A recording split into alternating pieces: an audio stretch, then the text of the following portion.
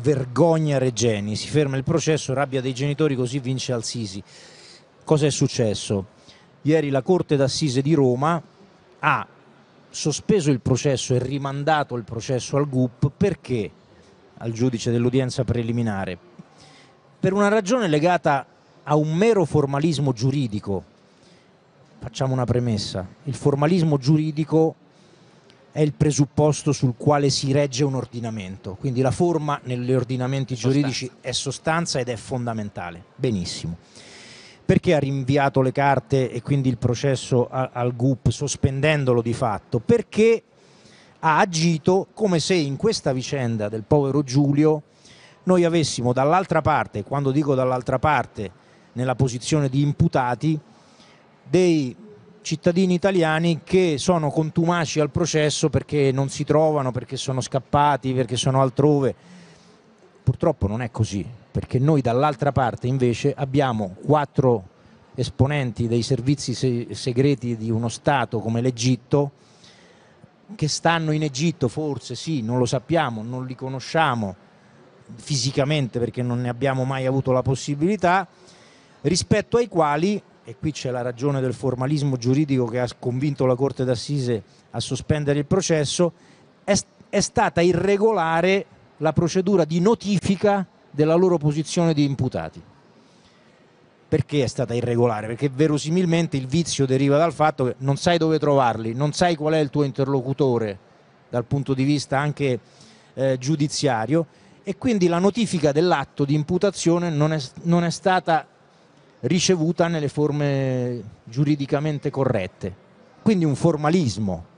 Nella sostanza però tutto questo si traduce in che cosa? Nel fatto che il processo si ferma, torna indietro e non per caso quindi i familiari dicono così ha vinto la, la prepotenza degli egiziani. Abbiamo dato ragione a loro sulla base di un, ripeto, un cavillo formale che è giusto, probabilmente legittimo, sotto, sicuramente legittimo, perché non possiamo pensare che la Corte d'Assise abbia agito chissà in che altra maniera e chissà eh, spinta da quale movente. Non, non, ci sarà nessun movente se non il formalismo, però nella sostanza il risultato è che è ancora questo. una volta questo Infatti... processo si ferma e noi non sappiamo e non riusciamo a portare dietro quel banco degli imputati quelli che verosimilmente eh, il povero Sono Giulio lo hanno torturato, massacrato ed ucciso. Tant'è vero che questo, eh, per chiudere anche questo capitolo, eh, stando esattamente a quello che tu dicevi, eh, al di là del formalismo giuridico che è inevitabilmente da,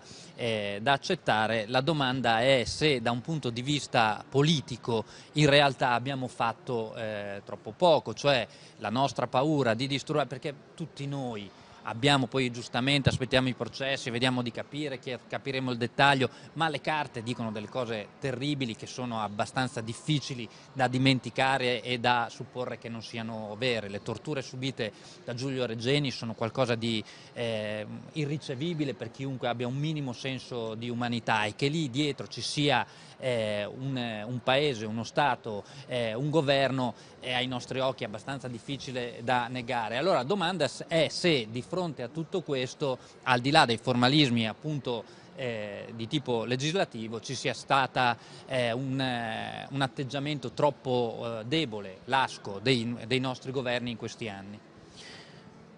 Andrea, eh, eh, usando il gergo dei giure consulti latini, la risposta è in re ipsa, verrebbe da dire, no? Cioè è evidente che, punto, che quello che è mancato, al di là della vicenda giudiziaria, è l'arma di pressione politica che i governi italiani, perché non è solo uno, non, non è solo quello di oggi, ma i governi che l'hanno preceduto. Ieri c'era anche una memoria di, di, Conte. Di Conte, esatto, che eh, è stato ascoltato eh, in procura eh, ehm, a Roma.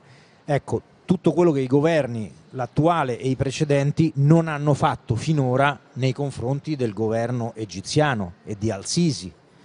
Questa pressione è mancata, è mancata perché lo sappiamo, l'abbiamo scritto, l'abbiamo raccontato, purtroppo anche in vicende dolorose, tragiche come queste, che chiamano in causa la vita di un ragazzo che non era colpevole di nulla se non di fare il suo lavoro di ricercatore, eh, viene sacrificata sull'altare della Realpolitik e la Realpolitik sono purtroppo probabilmente anche eh, i flussi finanziari legati ad alcuni business che riguardano soprattutto il settore militare. Le navi.